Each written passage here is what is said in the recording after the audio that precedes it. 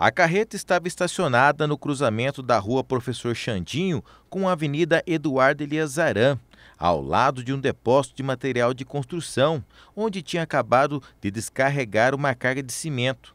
O motorista de 78 anos estava se preparando para seguir viagem quando o incêndio começou repentinamente na cabine do veículo e se alastrou rapidamente, tomando grandes proporções, atingindo inclusive a rede elétrica e de telefonia do bairro, deixando a vizinhança assustada e quem passava pela região por consequência da densa nuvem de fumaça que formou.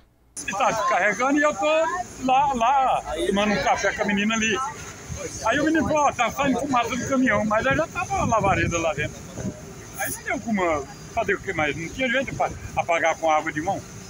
Foi do nada começou, né? Do nada, não sei se que curta que deu, o que tá já tá desligada. Dois trabalhadores fizeram a diferença nesse caso. Eles passavam pelo local no momento do incêndio em um caminhão-pipa e não pensaram duas vezes. Pararam e começaram a combater o fogo. O trabalho foi intenso e só não houve explosão do tanque de combustível da carreta por consequência da intervenção dos heróis do dia. Como tinha um pouco de água no caminhão aí, eles acabaram dando suporte aí pro pessoal. A gente é um pelo outro, né? A gente se comove com a situação do próximo, né?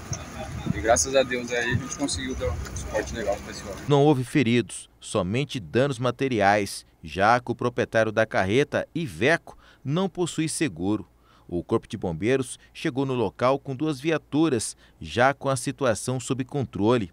A causa do fogo ainda é um mistério, que será provavelmente identificado pela Polícia Científica e os bombeiros.